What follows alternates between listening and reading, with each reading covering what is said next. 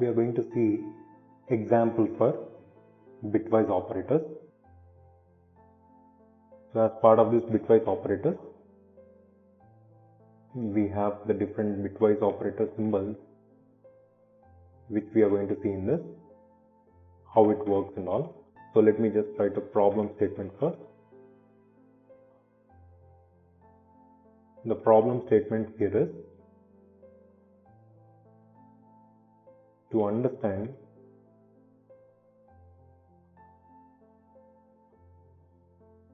the different bitwise operators to understand the different bitwise operators. So as part of bitwise operators we have bitwise and which is denoted by single ampersand sign. Next we have bitwise or which is denoted by pipe sign.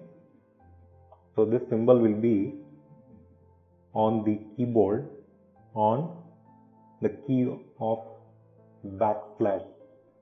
So on the top of backslash you can find this. Next. Bitwise XOR which is denoted by caret sign. So which will be on the number 6. Next we have bitwise bitwise not so this bit, bitwise not we'll be covering in the next video in detail. And the symbol for bit, bitwise not is tilde sign. And the next one is right shift which is denoted by two greater than signs next left shift which is denoted by two less than signs so these are the different bitwise operators which we are going to see in detail. As part of this code we are seeing hash include stdio.h and main within this. Let me take the integer values and apply this bitwise operators. So I'm directly using this printf.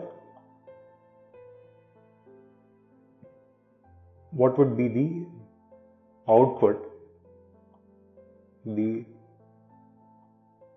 output of the output of let me take the values 4 and 5 the output of 4 and 5 is percentile d slash n. So here I am using 4 and that is bitwise and followed by 5.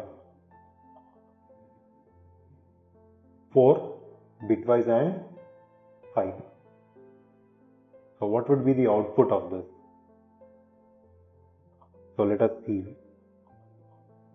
the output. Before seeing the output, let me give you a clear understanding first. In bitwise AND, bitwise AND is true when both the inputs are true. Bitwise AND is true when both the inputs are true. In remaining all the cases, it is false which means if you see this table bitwise and 0 0 will be 0 0 1 will be 0 1 0 will be 0 1 1 will be 1 so it is very clear that bitwise AND is true when both the inputs are true. In remaining all the cases it is false. Now let us see the binary representations of these two numbers 4 and 5. The binary representation of 4 is 0 1 double 0 and the binary equivalent of 5 is 0 1 0 1 now let us try to implement bitwise AND on these two numbers.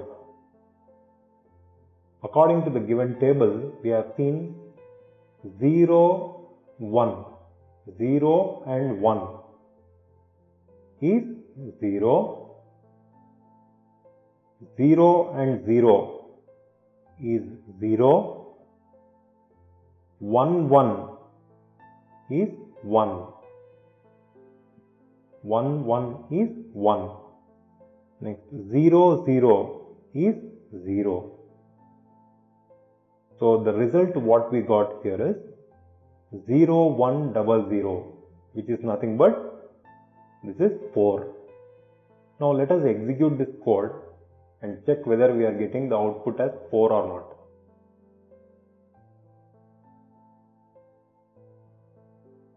So let us execute this and check whether we are getting the result 4 or not. So we will be getting that the output of 4 and 5 is 4. So here I am expecting the result to be printed over here of these two 4 bitwise and 5. So it is very clear that bitwise operators are working on the binary binary values.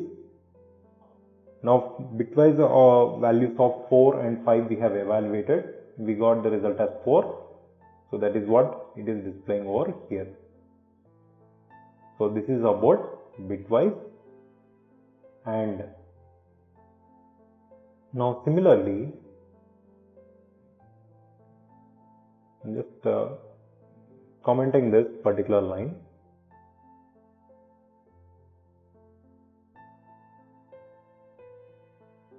I'm just commenting this line. And I'll be writing again printf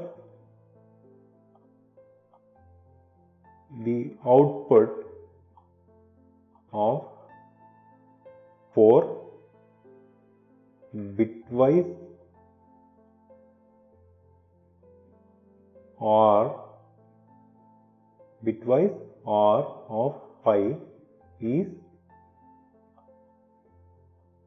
what is the result of 4 the exclusive OR sign is pipe sign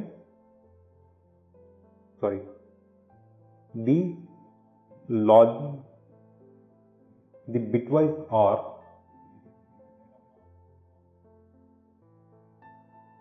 the bitwise OR of 5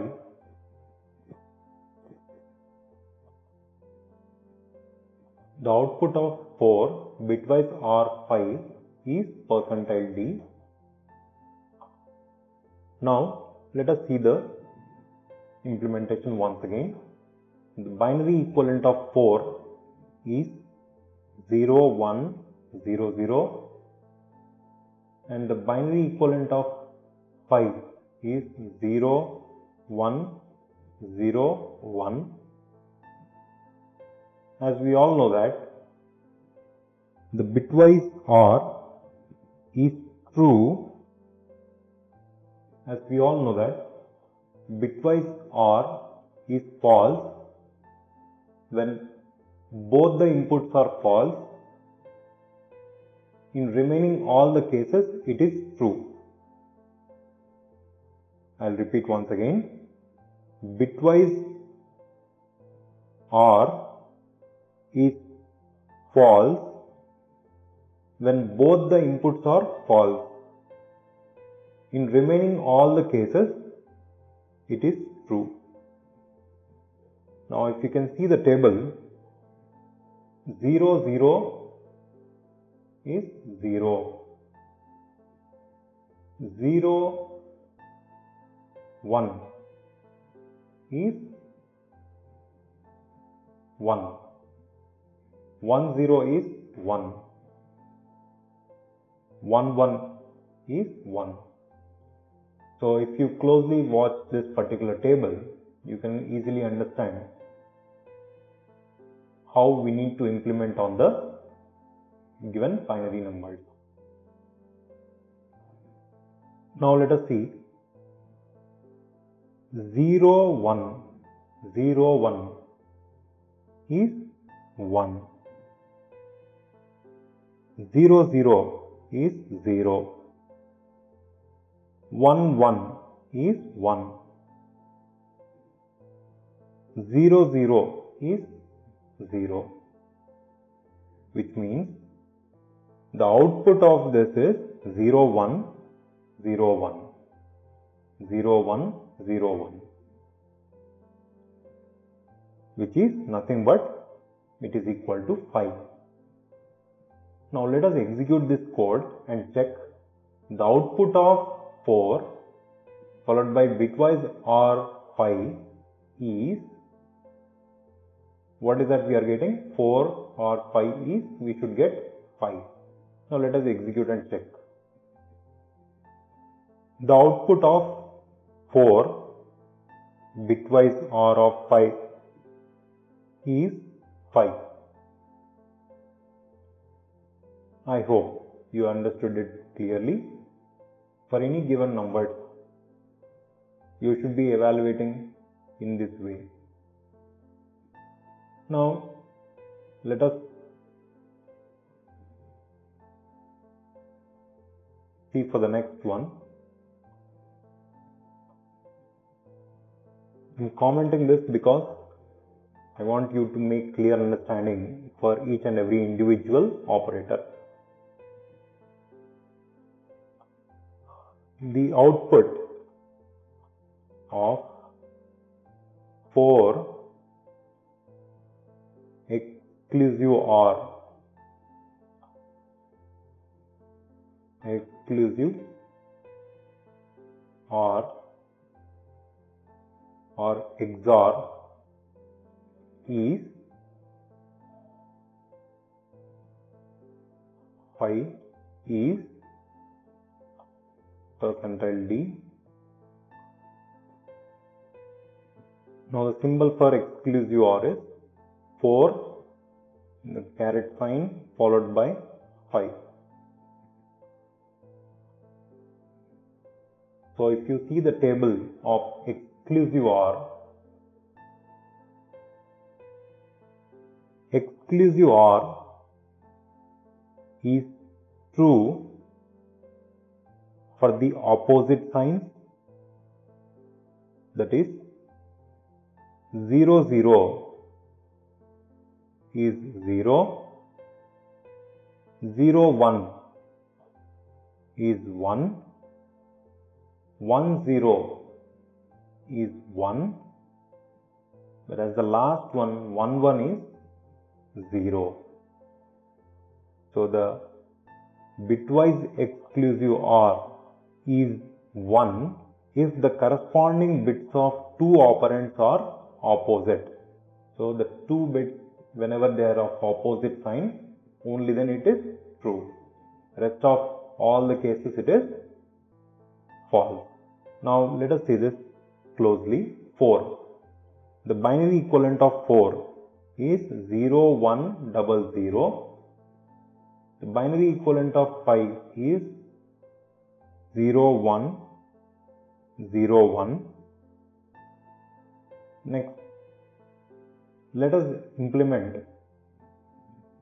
exclusive OR on this 4 exclusive OR 5. 0 1 as it is an opposite sign, then the resultant will be 1. 0 0 is the same sign, then it is 0. 1 1 it is same sign, then it is 0. 0 0 it is 0. So the conclusion for this is 0 0 0 1 which means the decimal equivalent of this is 1. Now when we execute this particular result we should get the output of 4 exclusive OR of 5 is 1. We should get the output of this. Now let us execute this code and check whether we are getting 1 or not. The output of 4 exclusive OR of 5 is 1. This is how we can implement exclusive OR.